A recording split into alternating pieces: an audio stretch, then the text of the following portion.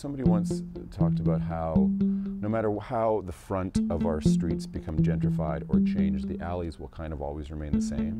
And the thing I like most about alleyways in the city too is like they're these secret cities within the cities. They're really like the arteries of our town, I think, in a lot of ways. But also like really meditative too. At the top of the alleyway here, those are the, the train tracks just north of Dupont.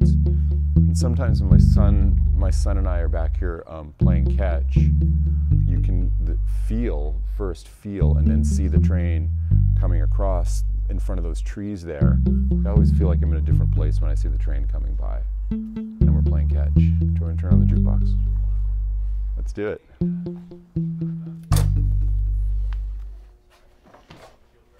So I'm going to put in a tune. Yeah, it's all, pretty much all original parts. I just kind of have it greased once or twice a year. And it plays. It's magic.